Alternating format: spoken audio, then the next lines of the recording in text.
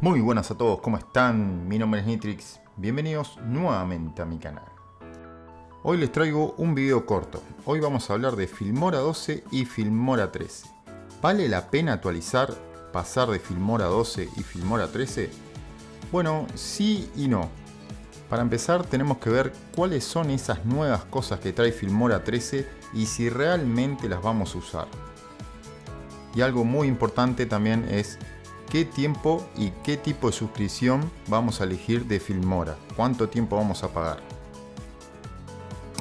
Yo les voy a contar mi experiencia que he tenido con las dos versiones. Yo he usado las dos versiones, tanto Filmora 12 con Filmora 13.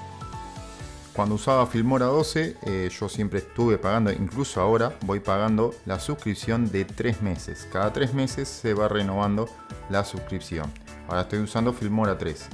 Yo me cambié eh, Filmora 13 apenas salió porque justo también se estaba terminando la licencia de esos tres meses de Filmora 2, entonces quise cambiar. Bueno, en mi experiencia que he usado, la experiencia que he tenido con Filmora 13, esto no va a ser para darle palo a Filmora ni tampoco para darle aplaudir a Filmora. Eh, voy a decir sinceramente lo, mi experiencia. Yo hoy por hoy lo único que he usado son los clips compuestos de las nuevas herramientas de Filmora 13, lo único que he usado son los clips compuestos. He probado las otras herramientas de inteligencia artificial y todo, pero no le he encontrado nada que me llamara mucho la atención. Sinceramente no las uso. Lo que sí uso son los clips compuestos. Tampoco uso mucho, no le encuentro una función realmente al panel de fotogramas clave. ¿ah? He hecho un video también eh, viendo eso, que sinceramente no le encuentro una función que me sirva. Tampoco, eh, eso es una de las funciones nuevas que traía Filmora 13 y la verdad no le encuentro ninguna, nada nuevo.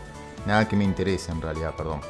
Eh, como vuelvo, vuelvo, a repetir, lo único que estoy usando son los clips compuestos. Que también en realidad se puede usar con Filmora 12, no los clips compuestos, pero con Filmora 12 podemos hacer más o menos lo mismo con las plantillas.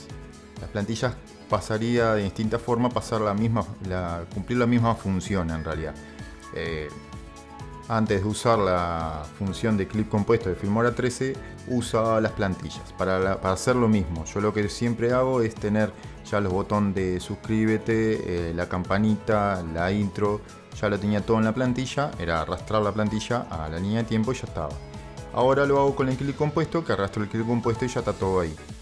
A la diferencia de que el clip compuesto, lo que me gusta, es que podés editarlo, el clip compuesto. La plantilla ya tenés que crear una plantilla nueva prácticamente y se te van creando varias plantillas en realidad.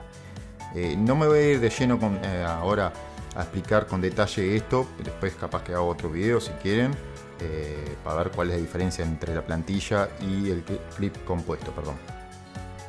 Bueno, después todas las demás herramientas, el rastreo de movimiento, el recorte con la inteligencia artificial es exactamente lo mismo, yo no encuentro diferencia.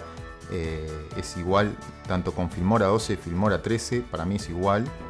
Bueno, ahora que les conté mi experiencia con Filmora, con las dos versiones, bueno, yo pago, como les dije recién, pago Filmora 13 eh, cada tres meses.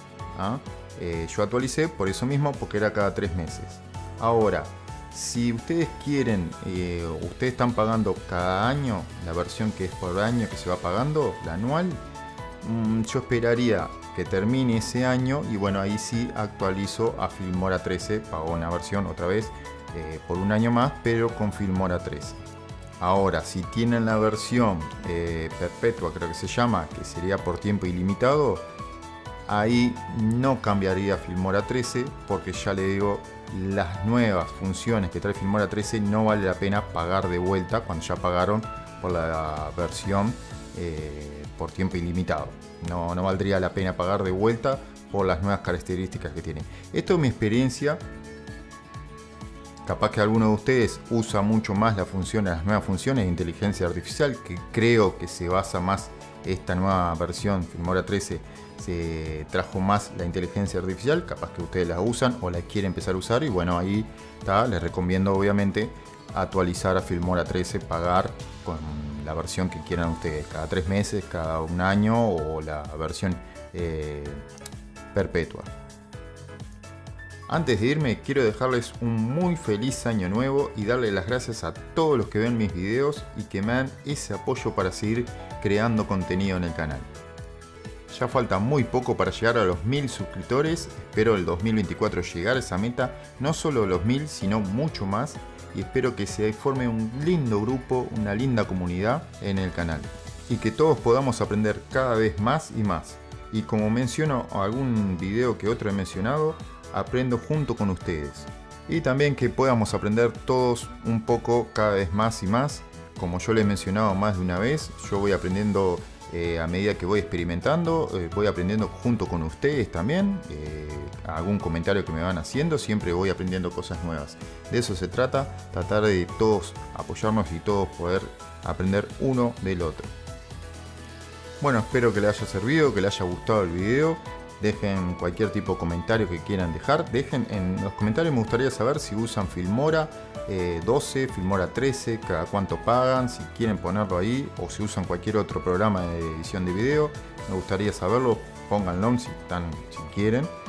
Eh, no olviden suscribirse, los que no están suscritos, activar la campanita con todas las notificaciones, así se enteran cuando subo un nuevo video al canal. Sin más que decir, yo me despido, nos vemos en la próxima y chao.